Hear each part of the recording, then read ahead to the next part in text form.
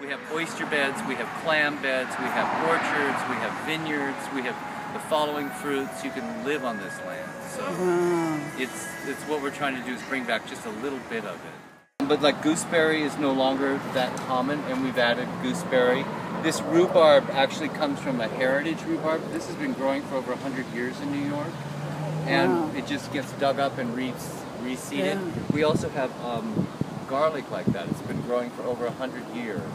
So every year it's dug up and one of the bulbs is reseeded and it, it continues growing, but it's been oh. continuous. And we have things like that.